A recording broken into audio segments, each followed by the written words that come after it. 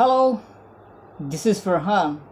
In this video, I'm gonna show you how to export and import PMX file in Blender 2.8 and any version. I'm using 2.81. Okay, first of all, you download latest version Blender 2.91. Search blender.org and download the Blender file and open the Blender. Let's go on the video first of all open blender file and don't save. And here open the blender file tube.blend this is my source file of blender. And hit open. Yeah there we go. This is the blend file. And this is the armature hit H and hide the armature and hit Z to solid mode look this is cut character hit N and click this.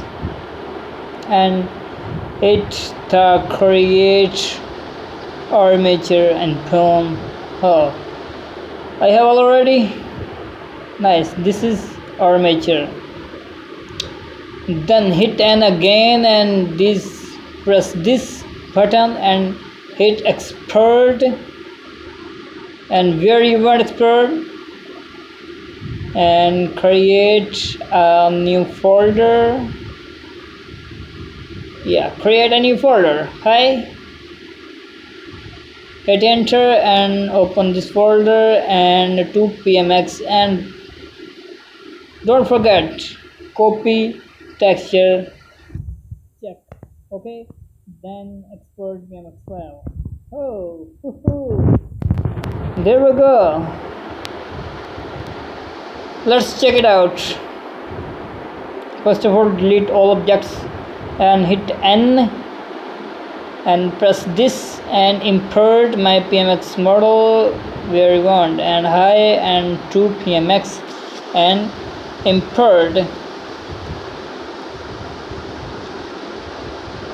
yeah. This is my pmx file. I hope you enjoy the tutorial. Please like don't forget subscribe. Bye bye